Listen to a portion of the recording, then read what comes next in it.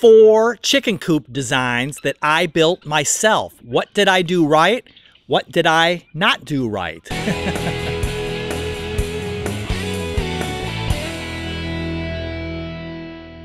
Over the years, I've built four different chicken coops and I've added on to the first two. So kind of technically I've built six coops. This coop behind me, the original part with the two windows on it, was our, our first coop. And it's literally in our front yard. And the reason for that is when we moved here, there's a, a dog paddock um, run right on the front of the house. And there were all kinds of wild critters here. We had stray dogs wandering around, raccoons, possums, we had squirrels in the attic, all kinds of rat snakes crawling all over the place. Sherry really enjoyed that. And um, so we thought to be safe, we would put our chicken coop in that run right in the front yard. So it would be close to the house and protected with the, the chain link fence. And we were just planning on having a handful of chickens. So I built the, the first part. And it's about five by seven. I wanted it so I could put one piece of plywood on the floor so I'd have a solid floor with no seams.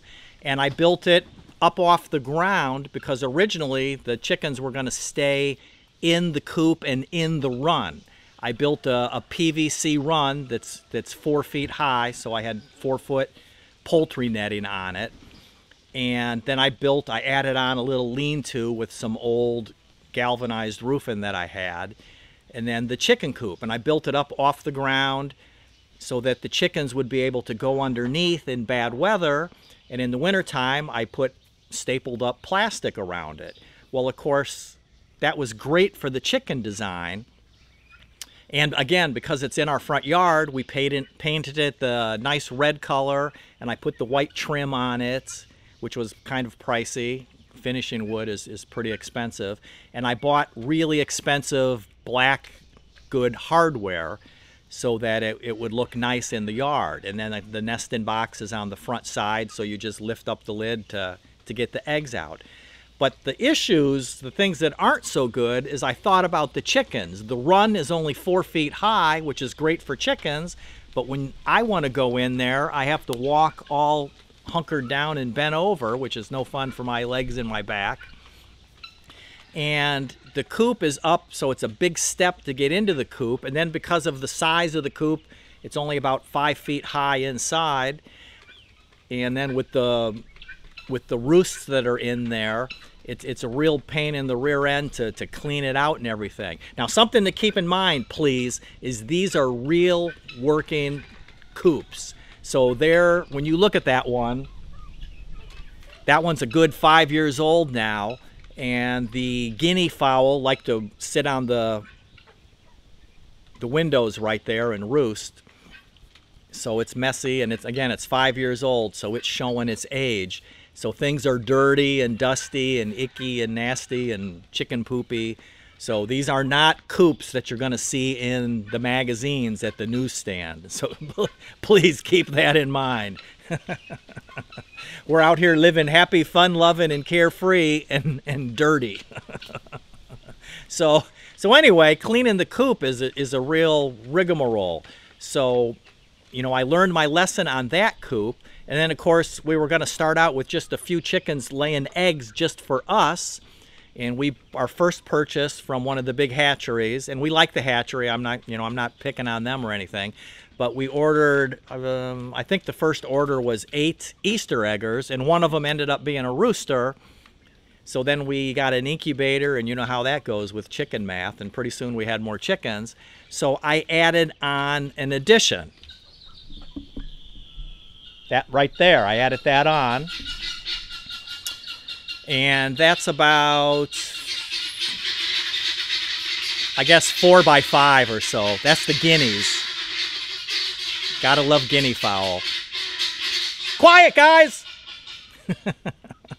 wow, that worked. and uh, so I added that on so that we could house more chickens in that. So this is our main coop, our first coop that we built, and then of course we added right on. So the lesson there is build your coop thinking of your needs too and build it bigger than you think that you're going to need it so that you have more room. All right, let's go on to coop number two. All right, this is coop number two and we built it because Sherry brought home some silkies, so they needed their own little run and coop. So I built this this first part that, that's closest to me in the in the shot here, and it's just a little coop. It's like two by four, and then of course we love the silkies, and they're our favorite chickens now. So then I I added onto that another section. So again, I built the coop the size that I thought that I needed it, just small, and then I ended up having to add on to it. And this is in our that same run. The the coop that we were just looking at is, is right over there. And now this coop is here in, in the other side of, of the run. And the, the two PVC runs connect together end to end. So it's kind of U-shaped. So I built that and then I added on to that. And now we use this coop today. It's kind of our, our nursery coop where when we hatch chicks, this is where we put them. And having this coop small and just having to lean in the door because it's so tiny, it's not a big deal. It's fine to have a really small coop when you want to use it just for chicks or if you live in a, a, city or a subdivision, a, you know, in the suburbs, and you can have just a few, four, five, six hens to lay your eggs, a small coop like this would work fine for that. All right, let's go way out back to coop number three. If you're enjoying these videos while we're walking out to the other coop, consider subscribing. I'd really appreciate it. And I think you'll find the upcoming videos really interesting. So here's coop number three, and it's about 250 feet or so from the house out and back. We have five acres of property and it's kind of L-shaped. It's, it's, you know, like along, the house is at the top of the L and then it goes to the back and then it, it, it veers off a little bit around the corner. So it's sort of L-shaped. And so I built this coop next. And what I did this time, what I learned from from building the other two coops is this coop is on cement blocks and it's it's lower to the ground so it's easier to step up into. I did put, since it's 250 feet, it's so far out away from the house, I put a, a real outdoor, outside opening, outside hinged steel door that I that I bought. That was that was kind of pricey, but I wanted a real door on there. A uh, couple windows that we just picked up. They're old. They're actually double hung windows from an old house and I put those in there and then some other windows up top. And you can see, if you look up above the door right in the center, you can see a, a solar light that I put on there and I made a video about doing that solar light. One of these corners up here over my head.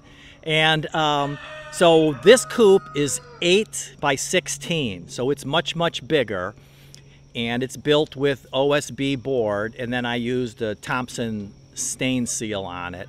And I used regular plywood three-quarter inch flooring inside so the the floor the joists are pressure treated because they're on cinder blocks close to the ground with a, a nice solid floor and then two by four walls and I built it and it has a just a slanty shed roof. I built it up high so the hot air and the moisture would get up away from the chickens when they're on their roosts so they don't have problems in the wintertime, good ventilation and so the top windows stay propped open all the time and that and then there's it's it has a center room so when you open up that big steel door there's a room in the middle and I keep garbage cans with chicken feed in there and then there's poultry netting and then a door and then there's two sides and then two runs. And I built the runs back here with two by four. I put pressure treated two by four on the ground and then I ripped two by fours in half because it's just poultry netting. And I built the sides and I built it six foot tall this time. I used six foot poultry netting because so that way I can walk around inside there without, you know, four foot is too short, so we use six. And then I built some lean-tos with, and I had to buy new galvanized roofing so the chickens can be outside and be protected. The issue we have out here, because we're so far from the house, is, you know, we can't run electricity, so we have the solar light, and lugging food and water out here is, is kind of a, of a hassle. And we have to be careful with the hawks. If we let these chickens free range, especially in the fall and the winter time when the, the trees have lost their leaves, we, we, we have a big issue. And Bonnie, our blue heeler, and our cats, our barn cats and that, they don't come out here unless I'm out here. They, they don't just wander back from the house this far. So I have to be really careful. And even now in the summertime, if I, you know, we let the chickens out, I usually let them out at like two or three in the afternoon so they can roam around. And even then, we probably lose one a month because a hawk just gets them. So that's, you know, the issue with the coop being so far from us and the house way out in the back of the property is it's a great coop and I love the two by four runs that I can walk around in. One error that I did make, make on this coop is the runs, I put the pressure treated 2x4s on the ground and then framed in the 2x4s ripped in half to make the, the sides and then I put up the poultry netting. I didn't think about the fact that chickens scratch. So they scratch the dirt out and then it's really damp here. That's one of the issues with this coop back here in the woods, even though I cleaned from where we are from the camera here up. This was sort of scrubby and wooded and I, and I cleaned it out, is it's really wet here. So the poultry netting along the, the chickens kick out the dirt and then the poultry netting rots and, and rusts and corrodes. So I'm actually having to go, and I started, I need to get it finished, is standing two by fours on their edge around the bottom so I have more surface that's up higher off the ground to staple the poultry netting to. All right, so that's coop number three. Let's go check out coop number four.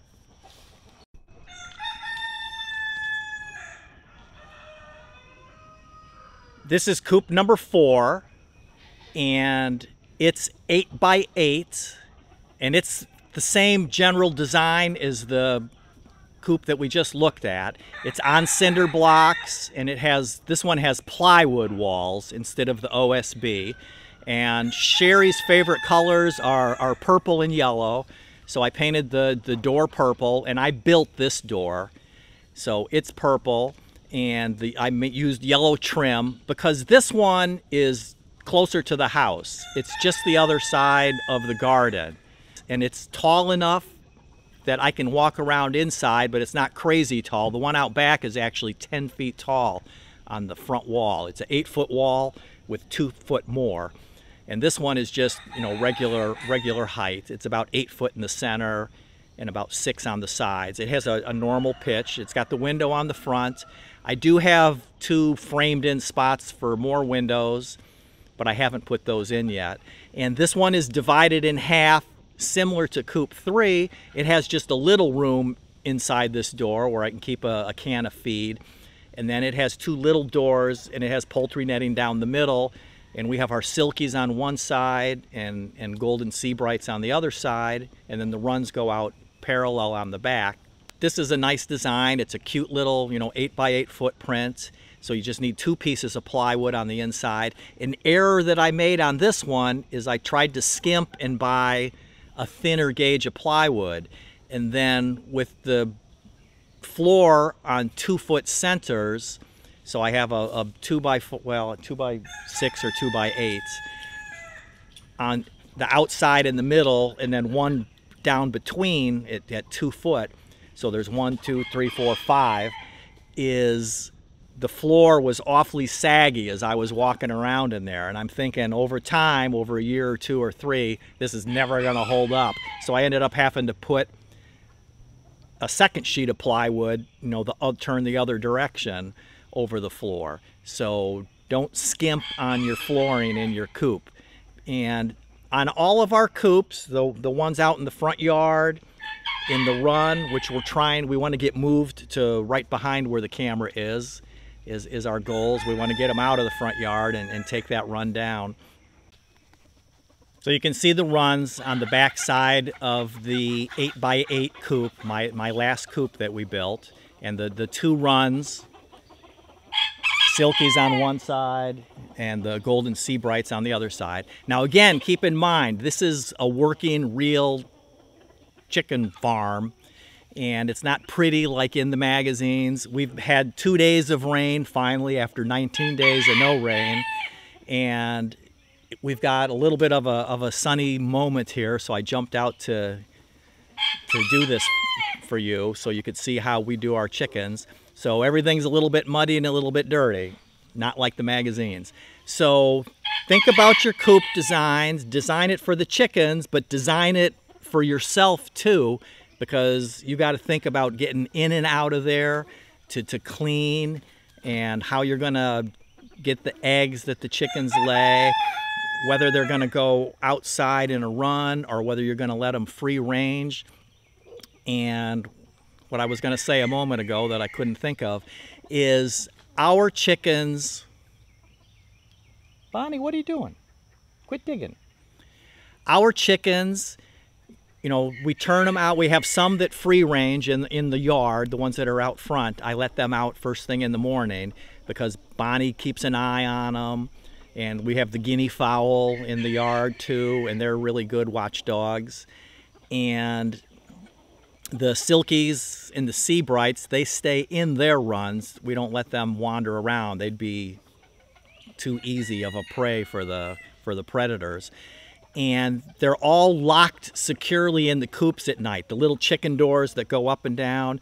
I do like a barn check and put everybody to bed and make sure everybody's safe and sound. That's why you want a good solid plywood floor and solid walls so that possums and coons and, and rat snakes and things can't get in and, and hurt your, your chickens. So the big coop that's out back, the big brown one that's 10 feet tall. Those chickens all get locked inside it at night. So the runs only have to be a poultry netting because the runs are just to keep the chickens contained. They're not, and it, it keeps the hawks, you know, from getting into them. But real predators, you know, um, dogs or coyotes, raccoons, even possums, they poultry netting would barely slow them down. But again, it's only to keep the chickens secure during the day. So if you live in a place where you have serious predator issues, you're probably going to use hardware cloth. And all of our coops have hardware cloth on the windows in any place that we think might be a, a weak spot. We do use the heavy duty hardware cloth and it's stapled in with, with big giant staples. So it's all about living happy, fun loving, and carefree with your chickens so you always hear them clucking and chirping. And, you know, share this with a friend if you know somebody that's thinking about building a coop. If you have any questions, let me know. Hopefully you've enjoyed the video. Think about subscribing. Subscribe on the little button over here and watch another video. Great, thanks.